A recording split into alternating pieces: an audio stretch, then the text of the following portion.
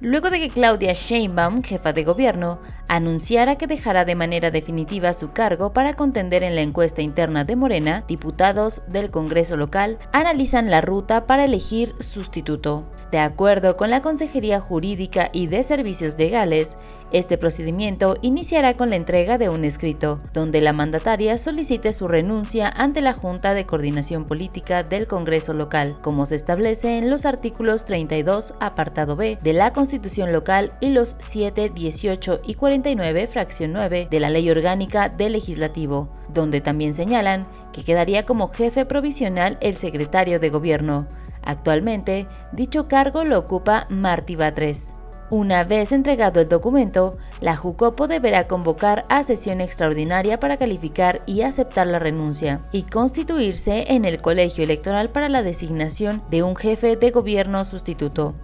Posteriormente, para aprobar a la persona que haya sido propuesta, se necesita el voto a favor de dos terceras partes de los presentes en la sesión.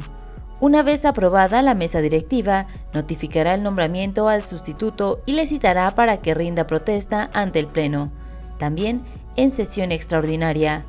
Jorge Gaviño, diputado del PRD, explicó que la constitución política local establece que la ausencia de un jefe de gobierno con duración mayor a 60 días naturales pasa a ser una falta absoluta, lo que implica que el Congreso se constituya en colegio electoral para hacer la elección. Por separado, el coordinador de la bancada del PAN, Federico Dorin Cázar, manifestó que hay una mala legislación, toda vez que en la Constitución no está claro qué debe hacer el Poder Legislativo si un jefe de gobierno pide licencia absoluta después de cuatro años de gobierno. No obstante, tomando en cuenta los precedentes, dijo, los grupos parlamentarios podrían presentar sus propuestas a la Jucopo para elegir sustituto.